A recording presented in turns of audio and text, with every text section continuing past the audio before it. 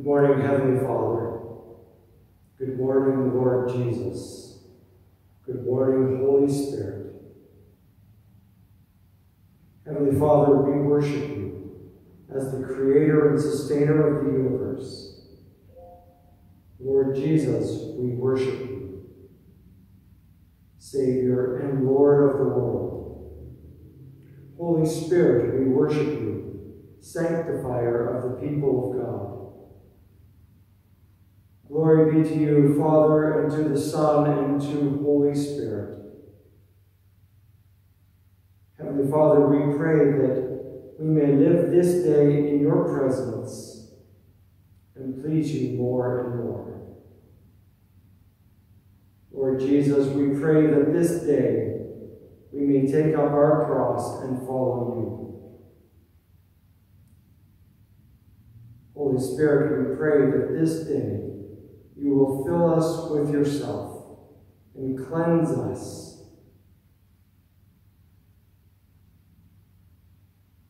Cause your fruit to ripen in our lives love, joy, peace, patience, kindness, goodness, faithfulness, gentleness, and self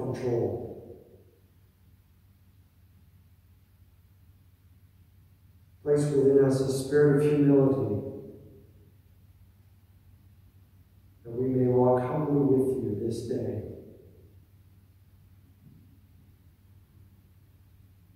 Dear Heavenly Father, we acknowledge that you are worthy.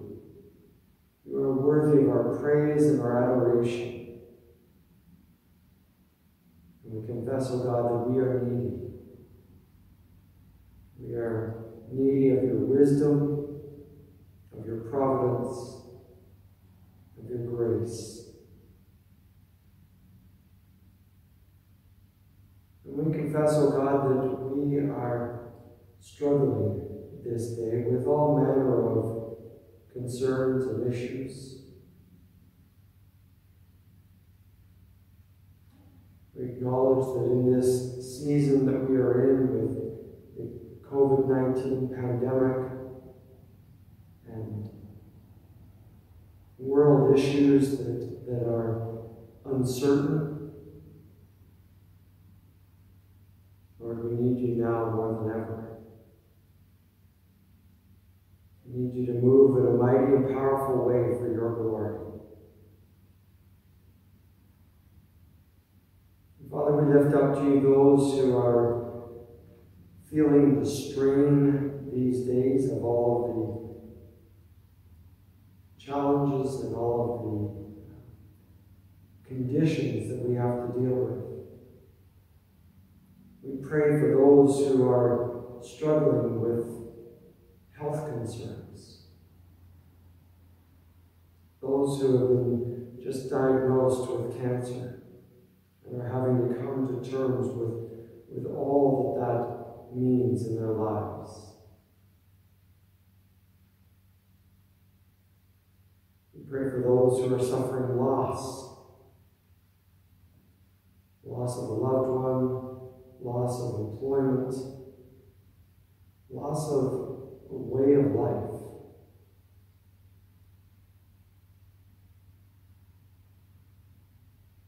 We also pray for those who are awaiting new life, those who are expecting the birth of a child, Lord, in these uncertain times. We pray, O God, your hand of favor upon them. Father, we pray for the Free Methodist Church in Canada and the Free Methodist Church around the world. We pray, O God, that, that as a movement we would be led by Holy Spirit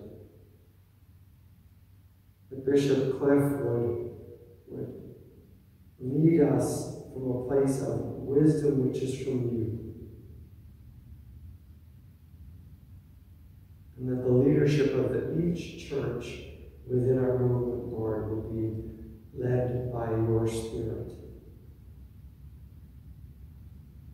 We would walk in your truth. And Father, as churches are discerning when and how uh, is the right time to gather again with in-person worship, Lord. We pray that your wisdom, your courage, and your leading would be present in their discernment process. that in all cases we will not take a step without you first directing us.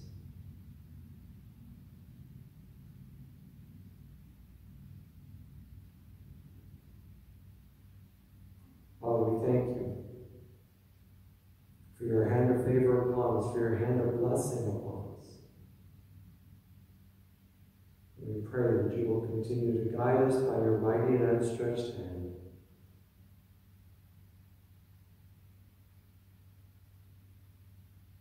Holy, blessed, and glorious Trinity, three persons in one God, have mercy upon us. In Jesus' mighty and precious name we pray. Amen.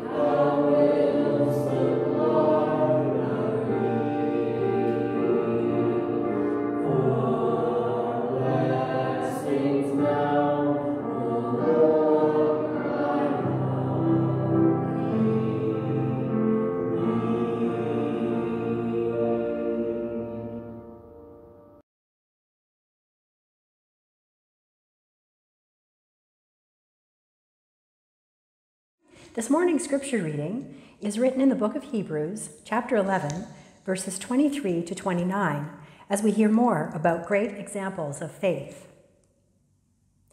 It was by faith that Moses' parents hid him for three months when he was born. They saw that God had given them an unusual child, and they were not afraid to disobey the king's command. It was by faith that Moses, when he grew up, refused to be called the son of Pharaoh's daughter. He chose to share the oppression of God's people instead of enjoying the fleeting pleasures of sin. He thought it was better to suffer for the sake of Christ than to own the treasures of Egypt, for he was looking ahead to his great reward. It was by faith that Moses left the land of Egypt, not fearing the king's anger. He kept right on going because he kept his eyes on the one who is invisible. It was by faith that Moses commanded the people of Israel to keep the Passover and to sprinkle blood on the doorposts so that the angel of death would not kill their firstborn sons. It was by faith that the people of Israel went right through the Red Sea as though they were on dry ground. But when the Egyptians tried to follow, they were all drowned. This is the word of the Lord. Thanks be to God. Today we continue with our series, Faith, Hope, and Love Never Fails. And today we find ourselves in the story of Moses as the author of Hebrews continues to lead us through this hall of fame of what we might think of as the great witnesses of faith. And again, as Susan was reading our passage be, before us, you might have been thinking to yourself, I know this story, but what's it got to do with me? And I believe God holds up Moses for us as an example of someone who, on various occasions, could have just walked away, could have just abandoned God's plan and said, Find somebody else. But he didn't, because his faith was in Almighty God. And so Moses didn't fear the uncertainties of what lay ahead of him. He didn't fear the uncertainties of what God had called him to. But he trusted in the Lord even in the midst of unimaginable hurdles. And we're grateful. We're grateful for his example, his witness. We're grateful for his parents who saw within him something great. We're today grateful for parents or friends who have modeled a life of faith for us and have helped to shape our walk of faith in the Lord by their example. So today we'll unpack this passage a bit as we listen to what the Lord is speaking to us through his word. Let's begin with a word of prayer. Father God, as we turn to your word, we pray that you will quiet in us any voice but your own in the name of Jesus Christ. That we may hear you speaking your wisdom, your courage, and your grace to us. And that in faithful obedience to your word and your will, we may go where you lead us, that we may walk in faith. In Jesus' name we pray. Amen. If I were to ask you if there was a character in Scripture that you most relate to, who would that be? You don't have to answer, but think about it for a moment. For much of my life, I have related to Moses and felt a connection between my story and his. And I don't know why that is. There are lots of great characters in the, in the Bible that one might want to model their life after. Moses isn't necessarily at the top of that list, but for me, our lives have shared similar characteristics in our stories. And I don't know about you, but when we look to the Bible for examples of people of faith, those whose faith in God was unwavering, it's not an easy task to find them. Because we recognize that each one has a flaw, just like us. They have a failure, just like us.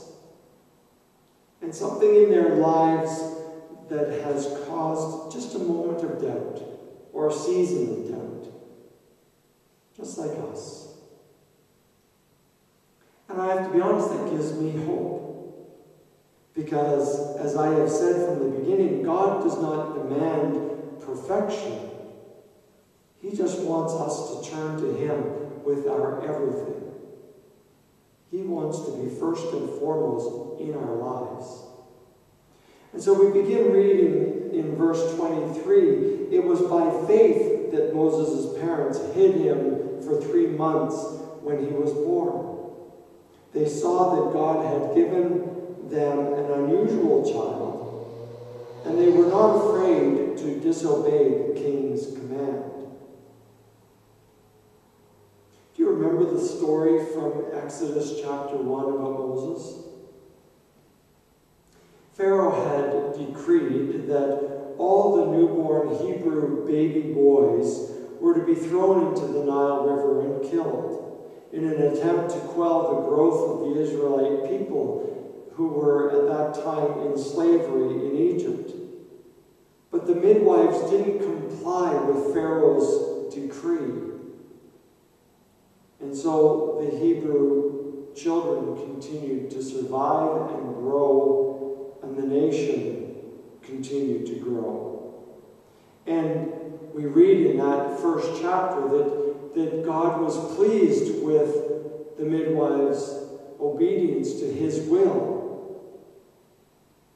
And so he blessed the midwives with families of their own because God saw that what they were doing was good. And so it is as a result of the king's decree that when Moses was born, he was spared. He was placed in a basket among the reeds at the edge of the Nile River. And if we continue to read on in that story, we realize that Pharaoh's daughter finds him and adopts him as his own, as her own. But notice that Moses' parents saw that God had given them an unusual child. That's not exactly the most complimentary thing that parents want to, to hear or acknowledge. Oh, your child is unusual. No, that's not a, a great kind of term to use for a newborn child. Unusual. But some translations actually use what I think is a better word. They use the word exceptional or beautiful to describe Moses. And they could, that regardless of what term you use, Moses' parents could see that this child of theirs was different in a good way, in a positive way. And so they were not afraid to, to disobey Pharaoh's commands. They didn't know what the implications of their disobedience to Pharaoh's decree would be, but they were not afraid because they knew God had blessed them with this child and they could tell that he was destined for something significant because God's hand of favor was upon them. Have you ever experienced that in your own life? Maybe it's your story, or maybe your child, or a friend, or a colleague. And you just knew in your spirit that God had a special calling on them, that God had, had placed a special favor upon them. You just knew in your spirit that they were destined for something significant. That was Moses' parents' story. They realized that, that God had claimed him for a greater purpose. And maybe that's your story too. God had claimed you for a greater purpose. And so as we continue to read in, in this passage, we realize that indeed God had claimed Moses for a greater purpose. We read in verses 24 and 25, it was by faith that Moses, when he grew up, refused to be called the son of Pharaoh's daughter. He chose to share the oppression of God's people instead of enjoying the fleeting pleasures of sin. Faith is not fearing the uncertainty, friends. But it's also not knowing all the details either. As we saw last week with the story of Abraham and Sarah, God called them, but He didn't give them all the details. God called Moses to lead God's people Israel out of slavery in Egypt into the land he had promised their ancestors. But he hadn't given Moses all the details. And so, in the midst of these uncertainties, Moses stepped out in faith, not fearing. And Moses exhibits this, this characteristic, this truth, when he refused to be called the son of Pharaoh's daughter.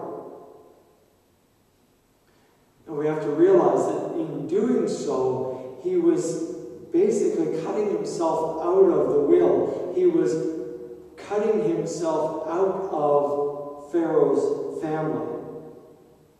He was abandoning the comforts and pleasures and safety of living under Pharaoh's roof. He gave up the lap of luxury to be a slave for God's people's sake. To set his people free from the bondage of slavery in Egypt. And I like the way it's put in our passage. He chose to share the oppression of God's people instead of enjoying the fleeting pleasures of sin. Ah, the fleeting pleasures of sin. That's the world of Satan.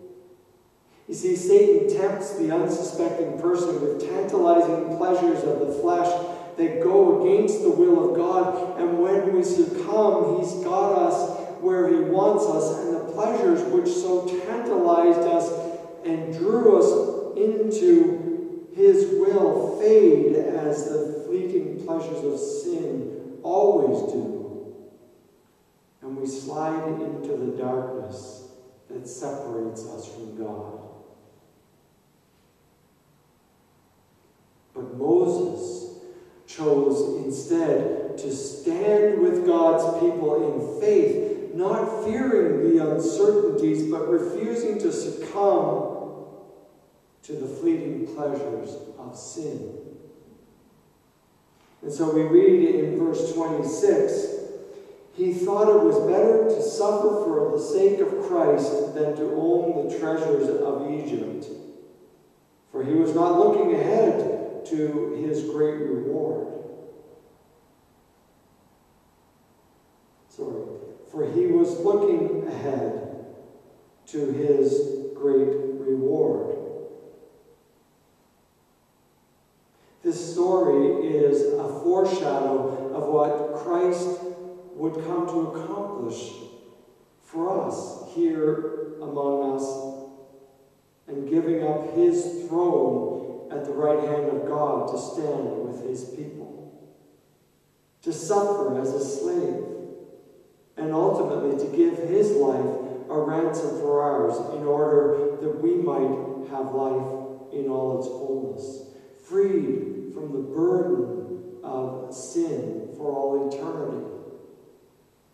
Moses suffered in faith and received the reward set before him eternity in God's presence, the hope of glory received by faith. And so verses 27 and 28 recount the Exodus story of the Passover. We, we read, It was by faith that Moses left the land of Egypt, not fearing the king's anger. He kept right on going because he kept his eyes on the one who is invisible. It was by faith that Moses commanded the people of Israel to keep the Passover and to sprinkle blood on the doorposts so that the angel of death would not kill their firstborn sons. Verses 27 and 28 recount the Exodus story of the Passover, which to this day is central to the story of God's people, Israel, and again, a foreshadow of what Christ would accomplish on the cross at Calvary for us gathered here today. And as believers in the risen Christ, Jesus is our perfect, unblemished Passover lamb who bore our sin and through whose blood we are cleansed. The one through whom we are saved. The receiving of communion or the Lord's Supper by faith is our reminder of what God did for us through his one and only Son, Jesus, on the cross at Calvary, to save us and free us from slavery to sin. For Moses and the Israelites, the Passover was the occasion when they remember what God did to save them and free them from slavery in Egypt. The blood of the sacrificial lamb was smeared on the doorposts so the angel of death would know where an Israelite family was living and pass over it, sparing the firstborn son. And we symbolically pour the blood into the chalice, following the example Jesus gave us as he was celebrating his last Passover with his disciples. Chalice representing the cup of suffering. Jesus accepted to accomplish God's will and plan for his people, you and me gathered here today. And Moses kept his eyes on the one who is invisible, as do we here today, fixing our eyes on the author and perfecter of our faith, Jesus Christ. Almighty God called Moses to this ministry out of a burning bush that was not consumed. Moses had an intimate relationship with God whom he could not see, but who led him with a mighty and outstretched hand. And it was by faith that he trusted in the commands of the Lord and did not fear the anger of Pharaoh, whom he could see. Moses knew God was stronger, wiser, more capable, and more trustworthy than Pharaoh. And so he placed his complete faith and trust in God. And yet we must acknowledge it was his failure to do as the Lord commanded him that led to his not being able to lead the people Israel into the promised land, the land that the Lord was giving them as an inheritance. Even though he had faith in the Lord and didn't fear the uncertainties, there are consequences for our disobedience God's leading and commands. And Moses was not accepted from that. And finally, we read in verse 29 it was by faith that the people of Israel went right through the Red Sea as though they were on dry ground. But when the Egyptians tried to follow, they were drowned.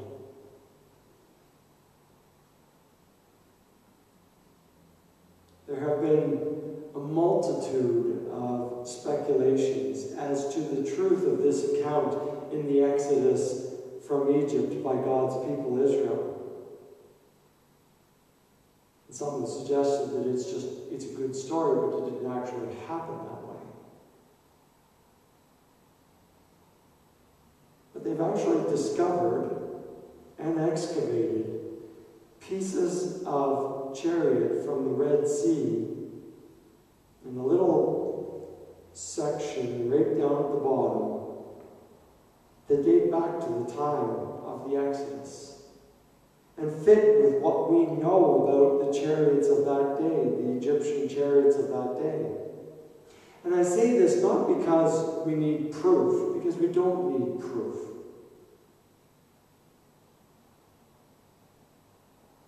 because there are those, Christians and non Christians alike, who doubt some of the truths of Scripture. They acknowledge that, yes, God led his people out of Egypt, out of slavery, but it didn't really happen the way it's depicted in Scripture. And this is troubling to me because you either believe in the inerrancy of Scripture or you don't. And I will go on record as saying that I believe the Bible is the inerrant, inspired Word of God, given to us that we may know Him more intimately and to know His will for us fully. And so when we read these accounts, I believe that in faith, trusting in the Lord and His Word. And it was by faith that the people of Israel believed the Word of God given them through God's servant Moses. And they trusted the Lord to deliver them from the hand of Pharaoh and slavery in Egypt. And so they stepped out in faith to cross the Red Sea on what was, for all intents and purposes, dry ground. Their carts, their livestock, their children, and adults alike were able to cross without a single one being lost. Not so for the Egyptian army, who were in hot pursuit, truly a miraculous work of God. Think about it for a moment. Have you ever walked on the seashore when the tide has gone out? You'd be hard pressed to call it dry ground. In fact, it's quite can be quite mucky. In fact, you may have lost a boot or sandal in the process. But that was not the case for the people of Israel.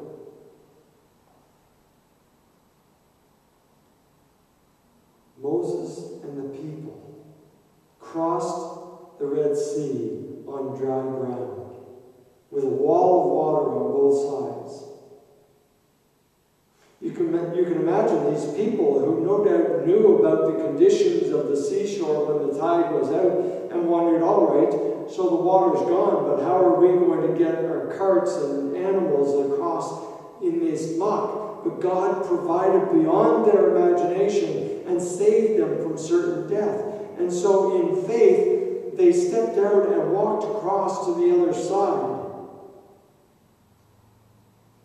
And maybe you found yourself faced with a seemingly insurmountable challenge before you that you just can't see a way through, a way forward. And in faith, you surrender it to the Lord, and He provided the ways and means to move forward without fearing the uncertainties.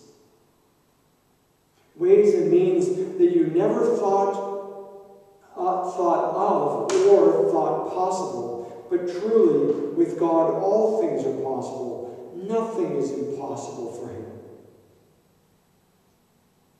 And Susan, Joyce, and I have most certainly experienced this firsthand as we've trusted in the Lord coming here. It seemed a monumental task to get us all here from Vancouver area, and yet God provided in ways that left us in awe wonder and even tears at His grace and His gracious providential hand leading us and providing for us and caring for us.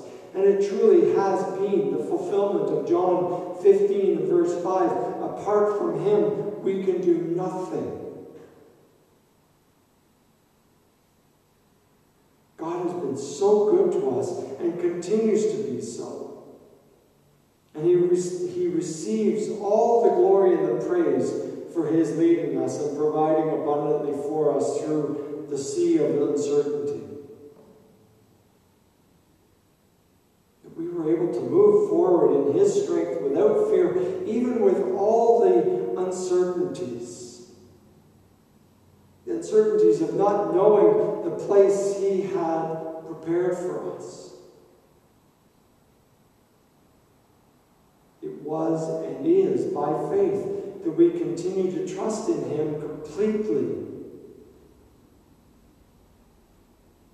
To surrender our lives, believing that He will never abandon or forsake us if we will humbly seek Him with our whole heart.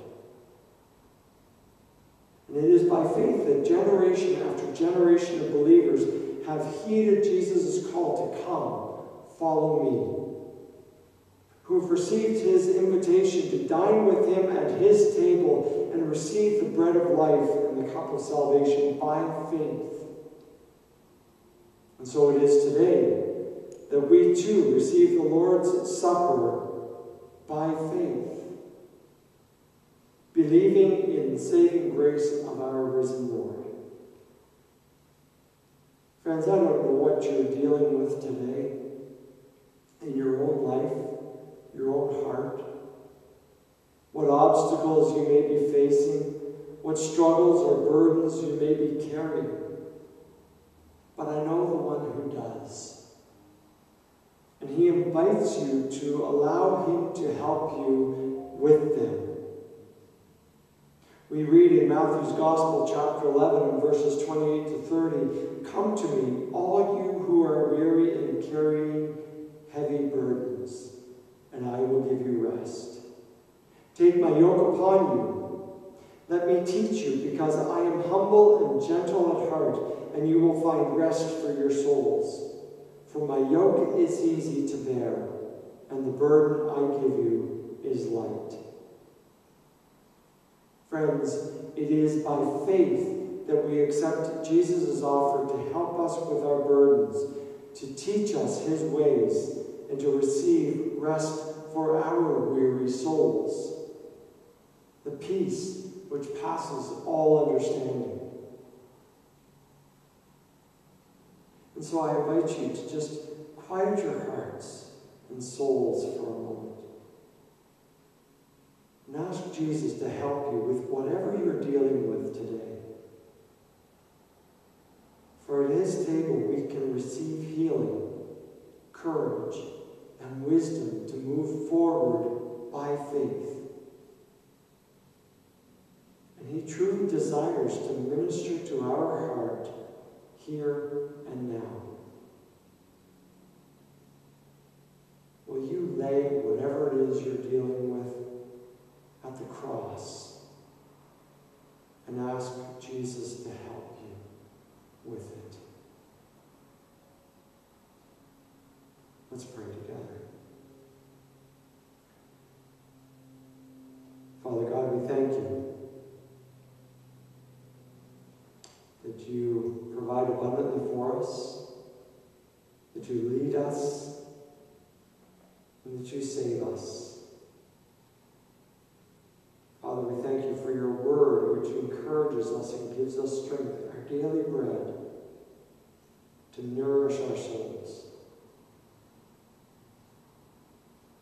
Lord Jesus, we thank you that you came to offer your life in exchange for ours, paying our sin debt in full that we may have full communion with you for all eternity. Holy Spirit, we thank you that you guide us and uphold us with your love and your grace. And that all, in all ways, you lead us in the truth of God's word, that we may trust in you completely. And so, God, we just commit the rest of this day to your care and your keeping. And as we dine at your table, Lord, may your Holy Spirit heal us and strengthen us for our journey. In Jesus' name we pray. Amen. Friends, this is the table of the Lord. This is Christ's table, and He is the host. And He welcomes you, He invites you to come and dine with Him at His table. So, you who truly and earnestly repent of your sins, who live in love and peace with your neighbors, and who intend to lead a new life following the commandments of God and walking in His holy ways, Draw near with faith and take this holy sacrament to your comfort. And humbly, kneeling, make your honest confession to Almighty God. Let's pray. Almighty God, Father of our Lord Jesus Christ, maker of all things, judge of all men, we confess that we have sinned and we are deeply grieved as we remember the wickedness of our past lives. We have sinned against you, your holiness, and your love, and we deserve only your indignation and anger. We sincerely repent and we are genuinely sorry for all wrongdoing and every failure to do the things we should. Our hearts are grieved, and we acknowledge that we are hopeless without your grace. Have mercy upon us. Have mercy upon us, most merciful Father, for the sake of your Son, our Savior, Jesus Christ, who died for us. Forgive us cleanse us. Give us strength to serve and please you in newness of life, and to honor and praise your name through Jesus Christ our Lord. Amen. And now we pray together the prayer that our Lord and Savior taught us to pray together, saying, Our Father who art in heaven, hallowed be thy name. Thy kingdom come. Thy will be done on earth as it is in heaven. Give us this day our daily bread, and forgive us our trespasses, as we forgive those who trespass against us. And lead us not into temptation, but deliver us from evil. For thine is the kingdom, and the power and the glory, forever and ever. Amen. Almighty God, our Heavenly Father, who with great mercy, has promised forgiveness to all who turn to you with hearty repentance and true faith. Have mercy upon us. Pardon and deliver us from our sins. Make us strong and faithful in all goodness, and bring us to everlasting life through Jesus Christ our Lord. Almighty God, unto whom all hearts are open, all desires known, and from whom no secrets are hidden, cleanse the thoughts of our own hearts by the inspiration of the Holy Spirit, that we may perfectly love you and worthily magnify your holy name through Christ our Lord. Amen. It is always right and proper and our moral duty that we should at all times and in all places give thanks to you, O Lord, Holy Father, Almighty and everlasting God. Therefore, with the angels and archangels and with all the inhabitants of heaven, the great cloud of witnesses that have gone before us, we honor and adore your, your glorious name, ever, forever and ever, praising you and saying, Holy, holy, holy, Lord God of hosts. Heaven and earth are full of your glory. Hosanna in the highest. Blessed is he who comes in the name of the Lord. Hosanna in the highest.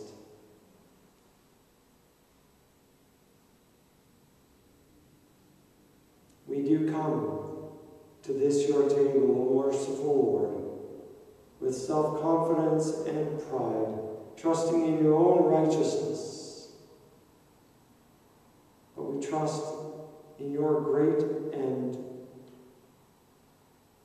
and many mercies, Lord. We are not worthy to gather the crumbs from under your table, but you, O Lord, are unchanging in your mercy. And your nature is love. Grant us, therefore, God of mercy, God of grace, so to eat this your table, that we may receive in spirit and in truth the body of your dear Son, Jesus Christ, and the merits of his shed blood, so that we may live and grow in his likeness, and being washed and cleansed through his most precious blood, we may evermore live in him he in us.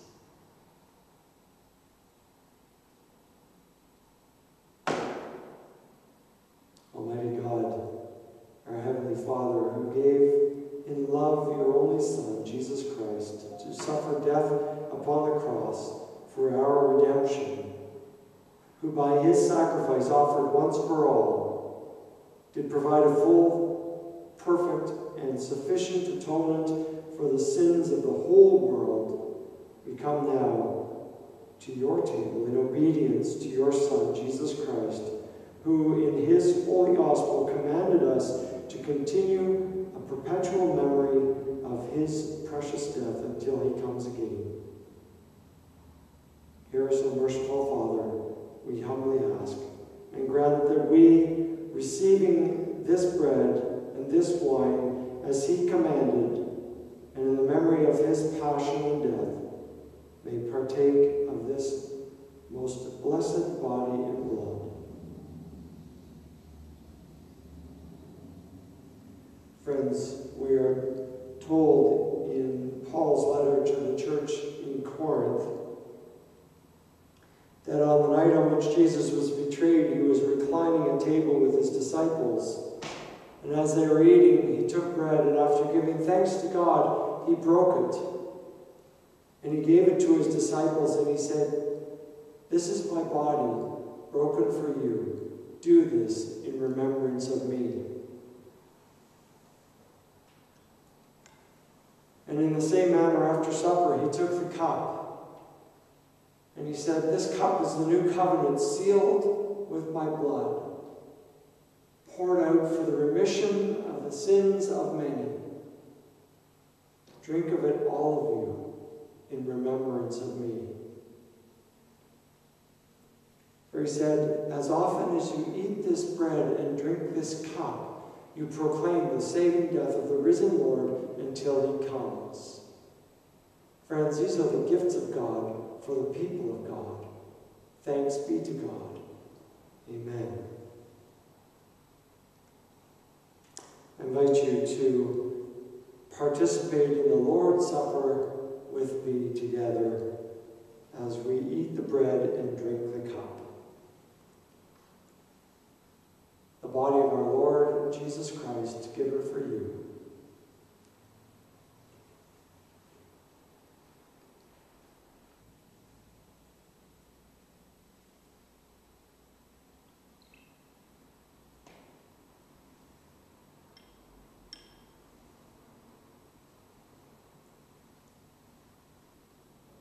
the cup of the new covenant. Drink of it, all of you, in remembrance of our Lord and Savior.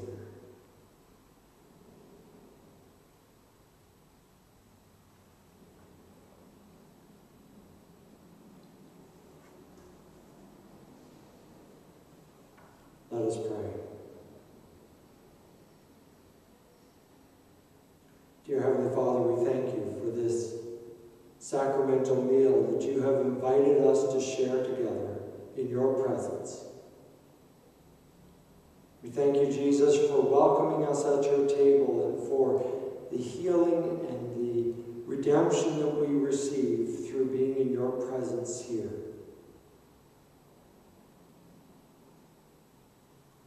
We thank you that your body is the bread of life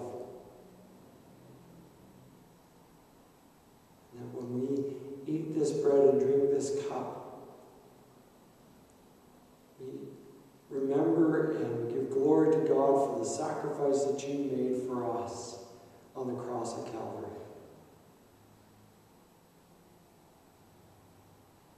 Holy Spirit, send us out into the world as redeemed and restored and rejuvenated people, your people.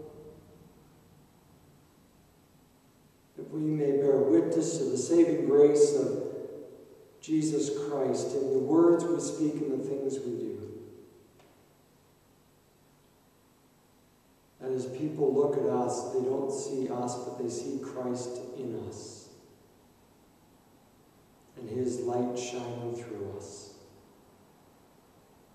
May they experience his grace and his love and his compassion through the words we speak.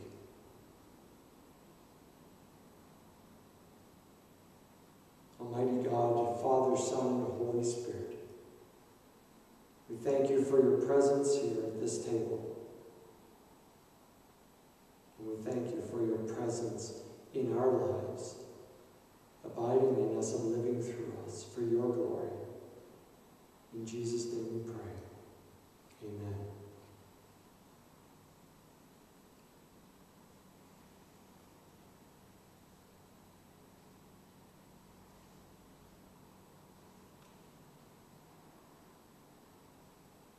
Friends, may the peace of God, which passes all understanding, keep your hearts and minds in the knowledge and love of God and of his Son, Jesus Christ our Lord. And may the blessing of God Almighty, Father, Son, and Holy Spirit be yours now and forever. Friends, the Lord bless you and keep you. The Lord make his face to shine upon you and be gracious to you. The Lord lift up his countenance upon you and grant you his peace. And all God's people said together,